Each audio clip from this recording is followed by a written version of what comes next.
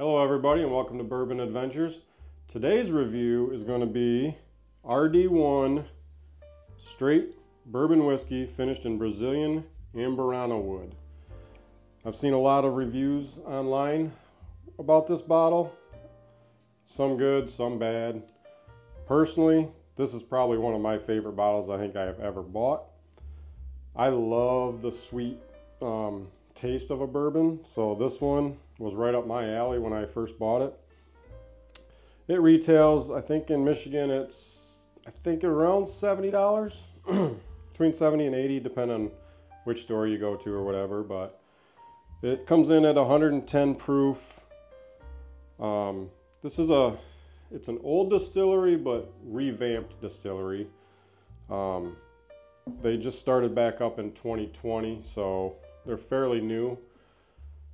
These are aged in four plus years, but then they have the wood staves that are put into the barrels, and that gives the flavor. They do have a couple other flavors, a French oak and a maple, which I don't have those bottles, but I will get those because I do want to do a review on both of them and maybe do a lineup of all of them. Then they have their own, they also have their regular straight bourbon too. So my goal is to get all four and then we do a review of all four. It'd be hard to do a blind just because they all taste very, very different. And definitely be able to tell which is which in a blind. so let's give it a little pour. If you never had this bottle and you like sweet, sweet bourbons, this bottle is going to be right up your alley. Oh yeah. I mean, it's cinnamon toast crunch all day long. Sugar cookie. Oh, cinnamon. This thing is good. And what you smell is what you end up tasting too because it is, it's definitely, uh, it delivers. There it is. It's opening up a little bit. I should have poured it before the, I started the video, but sometimes it takes, uh, you should let your, your whiskey air out a little bit. Plus this bottle is almost gone, so I probably should transfer it to a smaller bottle.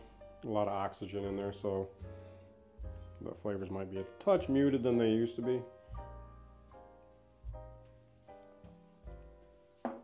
Oh wow. Wow. I don't understand how people hate on this. This is it's it's like breakfast or dessert in a bottle.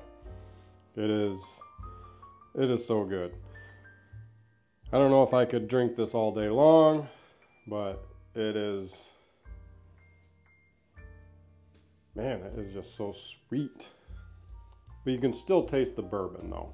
So the sweetness doesn't overpower it so much that you don't think you're drinking a bourbon or anything because definitely it's, it's 110 proof so it's got some proof on it. But it's uh, it reminds me of uh, Thanksgiving um, a cold winter morning. Got that spiced you know almost like a spiced rum if you ever if you ever smelled a spiced rum except with cinnamon but it is it is so good. Now RD1, they are out of Lexington, Kentucky. So I'm hoping that they come out with some uh, some other flavors. When we were at Bourbon Fest this past year, they had a booth and we went over and you know chatting with the, the people at the booth and stuff and this is by far I mean this sold out uh, Saturday that weekend we also tried the French oak and the maple and absolutely loved them.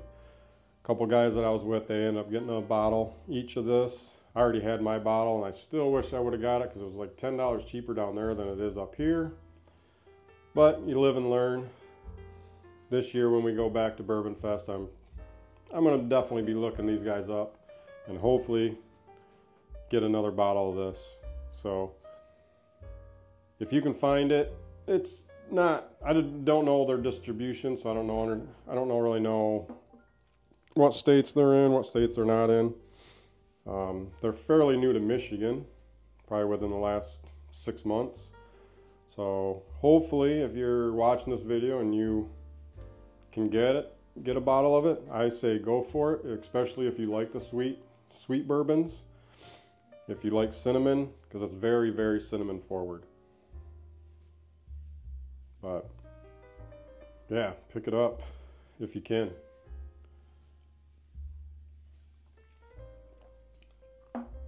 Hope everyone liked the video. I know it's short.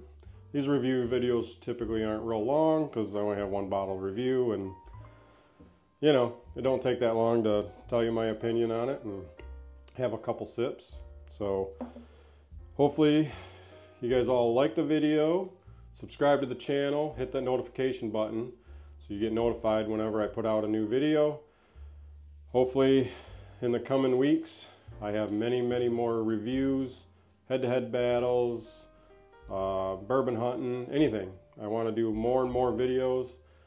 So the more subscribers, the more you share the videos and the more likes I get, the better we can grow this channel into something bigger and I can do get a lot more bottles in my bar and we can do a lot more reviews. So with that being said everybody, just remember it's not about the whiskey, it's about the memories shared and the flavors embraced. Until our glasses meet again, cheers to the next pour. Thank you.